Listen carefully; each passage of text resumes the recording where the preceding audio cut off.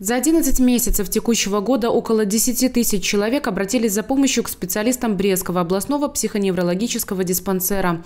У каждого свои причины для беспокойств, но все они оказали влияние на психическое здоровье.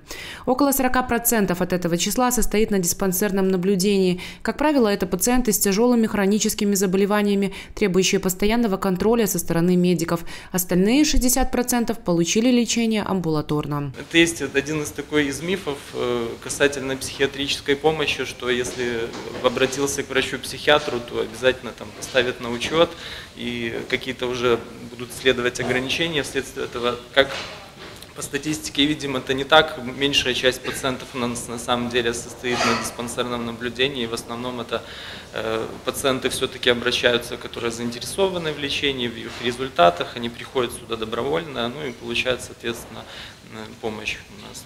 Однако Брестский областной психоневрологический диспансер далеко не единственное учреждение здравоохранения, где можно получить такого рода помощь. В областном центре есть десятки частных и государственных психиатров и психотерапевтов, способных поставить диагноз и назначить лечение в сфере психического здоровья. Потому Брестский клубный дом выступил инициатором создания общедоступной базы таких организаций и специалистов. Наша главная цель создания информационной базы – это было улучшения качества жизни населения, мы решили создать информационную базу для того, чтобы любой желающий мог э, в общедоступном пользовании зайти на наш сайт и посмотреть каким специалистам им комфортно работать. База под рабочим названием «Инфосреда» создавалась на протяжении последних трех месяцев, хотя идея возникла у Брестского клубного дома еще в конце 2018-го.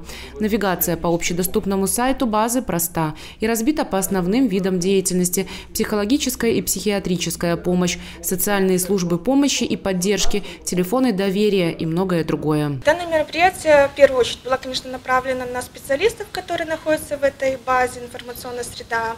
Это специалисты э, города Бреста, учреждения, которые работают в сфере психического здоровья, оказывают помощь и поддержку людям с психическими заболеваниями.